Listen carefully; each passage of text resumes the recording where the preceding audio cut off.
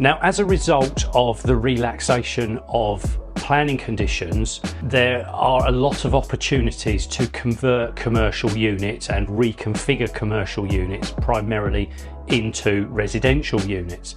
In this video, I want to consider the element of the property that is left as a commercial unit. Typically, it's the bit that's facing the front of the street Typically, it might have been a shop or an office in its day, and typically you've converted upstairs into residential. And so we've got this unit that's left at the front.